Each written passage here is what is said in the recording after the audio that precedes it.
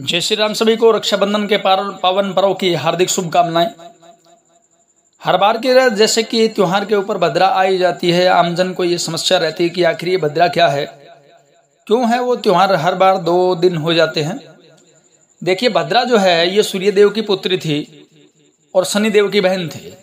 ये हर शुभ कामों में विघ्न किया करती थी और इसीलिए इसको उस जगह रख दिया गया या उस समय से ये स्थापित हो गई कि इनके समय में किसी भी कार्य को नहीं किया जाता है, शुभ कार्य को नहीं किया जाता।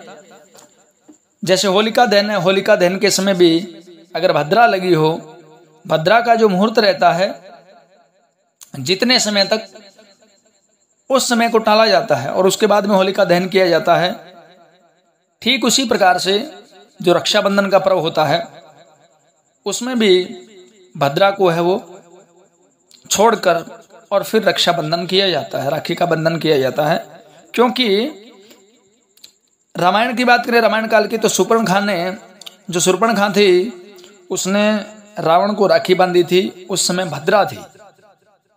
और कहा जाता है कि उसके पूरे कुल का विनाश हो गया।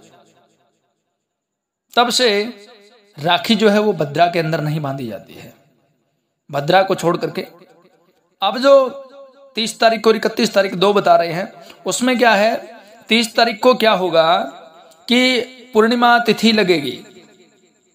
करीब साढ़े दस, ग्यारह बजे पूर्णिमा तिथि लगेगी और वो इकतीस तारीख को सुबह सवा सात बजे तक रहेगी।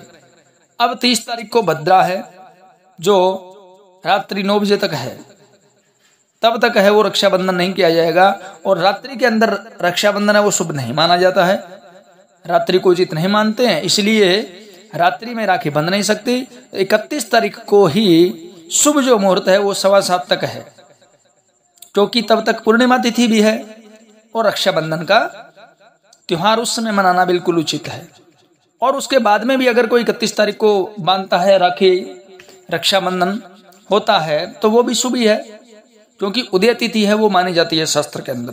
पूर्णिमा तिथि का उदय है, वो इकतीस तारीख को होगा, इसीलिए जो रक्षा बंधन का पर्व है, वो इकतीस तारीख को मनाना ही उचित है।